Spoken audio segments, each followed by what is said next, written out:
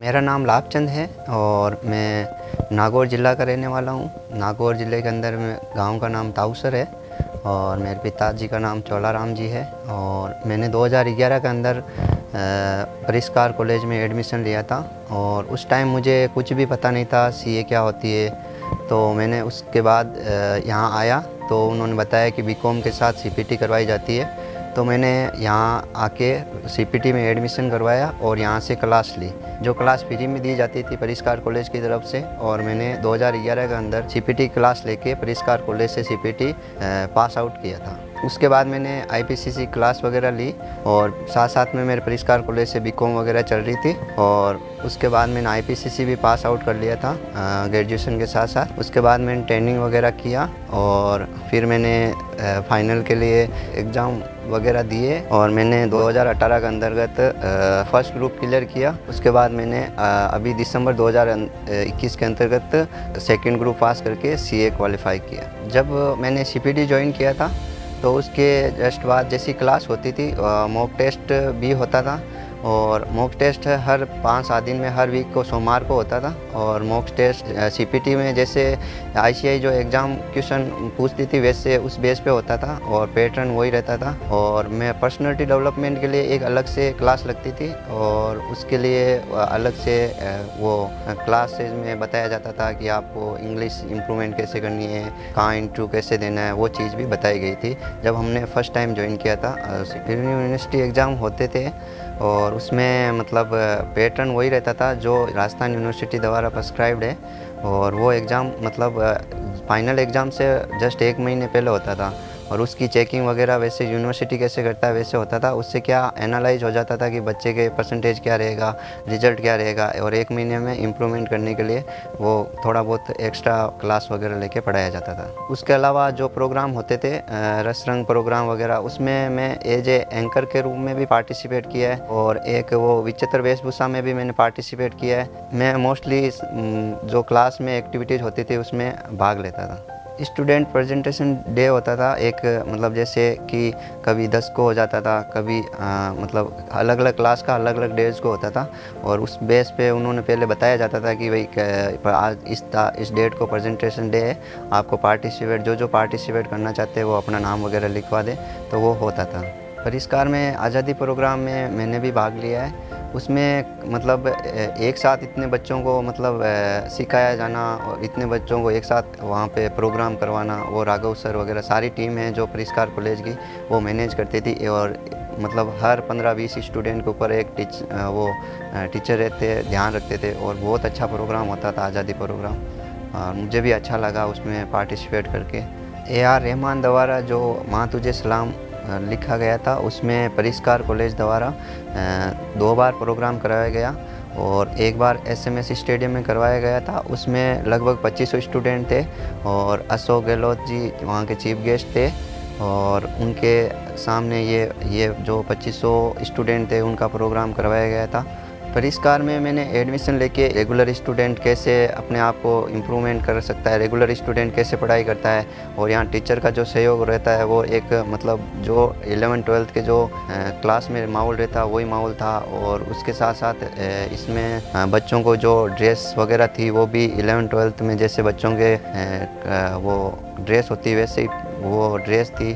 तो एकदम जो डिसिप्लिन की बात की जाए तो वो बहुत ही शानदार लगा मुझे। डिसिप्लिन है और ड्रेसअप है और जो क्लास का माहौल है और जो टीचर ने जो पढ़ाया, वो बहुत अच्छा लगा। मैं जब 2011 में आया था तो मेरा फ़र्स्ट मुलाकात पीएल सर से हुई थी और उसके बाद मधुसूदन सर थे। तो मधुसूदन सर और पीएल सर के साथ मेरा अच्छा कोऑर्डिनेशन था।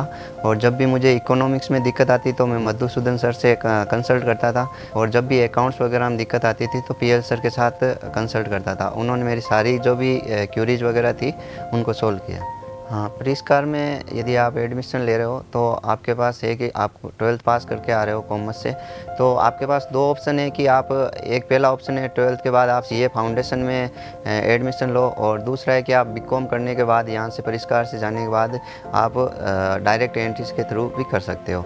जब आप ट्वेल्थ पास करके यहाँ बी में एडमिशन कर रहे हो तो सीए फाउंडेशन के लिए रजिस्ट्रेशन करवा के आपको यहाँ पर सी फाउंडेशन की क्लास है, वो फ्री होती है। मैं यहाँ के टीचर्स वगैरह के बारे में बोलना चाहूँगा कि यहाँ के जो टीचर्स है कोई भी क्योरीज वगैरह होती है या कोई भी मतलब दिक्कत आती है तो वो मतलब अपन कंसल्ट कर सकते हैं वो अपन को बता के क्योरी सोल्व करते हैं। और एक आ, जो परिवार जैसा माहौल मिलता है वो मुझे यहाँ मिला था पढ़ाई के लिए। और मैं बच्चों को यही कहना चाहूँगा कि आ, रेगुलर पढ़ाई करें और अपनी पढ़ाई के प्रति थोड़ा ईमानदार रहें। थोड़ा बाहर के माहौल से कि भाई सीए थोड़ा टफ है टफ है।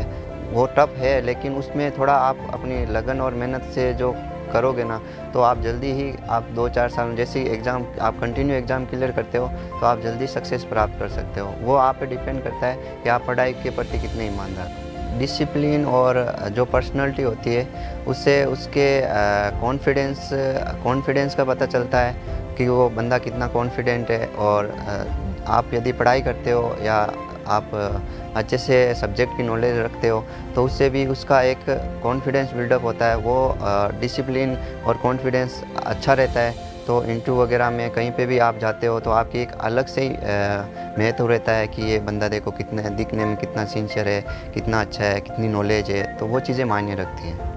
मैं ये कहना चाहूँगा बच्चों को कि भाई वो रेगुलर टेस्ट तो दे ही, उसके साथ साथ एक बार क्लास लें, उसके अलावा जो सेल्फ स्टडी है उस पर ज़्यादा फोकस करें। और मैंने देखा है कि क्लास वगैरह मैंने भी ली, परिष्कार से मैंने भी मतलब क्लास से वगैरह ली। उसके अलावा जो सेल्फ स्टडी की, उस पर भी बहुत ज़्यादा फोकस किया। तो दोनों दोनों का सहयोग रहता है इसमें कि भाई आप कॉलेज का भी सब कॉलेज का भी सहयोग रहता है और सेल्फ स्टडी का भी सहयोग रहता है। दोनों मिलकर यदि करें तो जल्दी सक्सेस मिलती है। मुझे लगता है कि परिष्कार कॉलेज में यदि आप बी के साथ या बीए के साथ या कोई भी सब्जेक्ट जो आप चूज़ कर रहे हो, उसके साथ यदि जो एक्स्ट्रा क्लास लगती है दो तीन घंटे। यदि आप उसको दो तीन घंटे यदि कंपटीशन की क्लास लेते हो तो उसको लेना चाहिए और उससे क्या है, आपका जो जीके है, जो मैथ है, जो रीजनिंग है, वो चीज़ें जो एक्स्ट्रा क्लास लगती है, वो आपको लेनी चाहिए रेगुलर जिससे कि आपको कॉन्फिडेंस आता रहे कि पढ़ाई के साथ साथ अपन कुछ एक्स्ट्रा कर रहे हैं। और जब आप, जब भी कंपटीशन में उतरो तो उस चीज़ का फेस नहीं करना पड़े कि मुझे जीके नहीं आता, मुझे हिंदी नहीं आती इंग्लिश नहीं आती। तो वो चीज़ें आपके बीए और बीकॉम के साथ कर लेनी चाहिए। एकेडमी बैकग्राउंड मायने रखता है। यदि आप ऐसे मतलब बाकी जो एक्स्ट्रा क्लास नहीं है, आप आप चाहते हो कि मुझे मतलब कॉलेज के लिए अप्लाई करना है और मुझे एमए करके असिस्टेंट प्रोफेसर के लिए अप्लाई करना है, और मुझे तो बस नेट और जेआरएफ ही निकालना है, और मुझे तो बस सब्जेक्ट में ही पकड़ करनी है तो आप एक पर्टिकुलर सब्जेक्ट में इतना मतलब इतना सब्जेक्ट नॉलेज लो कि आप कहीं पे भी जाओ तो उससे कम कंपटीशन कर सकते हो और उससे अपने कैरियर बना सकते हो किसी पर्टिकुलर सब्जेक्ट में। से यहाँ जो माहौल मिलता है और जो टीचर गाइड करते हैं, उनको ध्यान में, उनका भी प्रॉपर गाइडलाइंस का फॉलो करें और ख़ुद पढ़ाई करें और और फैमिली बैकग्राउंड का भी ध्यान रखें। यहाँ जो जयपुर में आके बाकी चीज़ों पे ध्यान नहीं देते हुए पढ़ाई करें और सर जो परिष्कार कॉलेज में जो गाइडलाइंस मिले उसको फॉलो करें तो मेरा मानना है कि आप जल्दी सक्सेस कर सकते हो। उसमें टीचर का भी सहयोग रहता है और खुद का भी सहयोग रहता है। दोनों चीज़ मिलकर ही हो सकती है। जर्नी के दौरान मेरे परिष्कार कॉलेज से काफ़ी संबंध रहे और गाइडलाइंस भी मिलती रही पीएल सर से और मैं आज सीए चार्टेड अकाउंटेंट बन गया और उसके लिए मैं परिष्कार कॉलेज को भी धन्यवाद कहूँगा और पीएल सर को भी धन्यवाद बोलूँगा।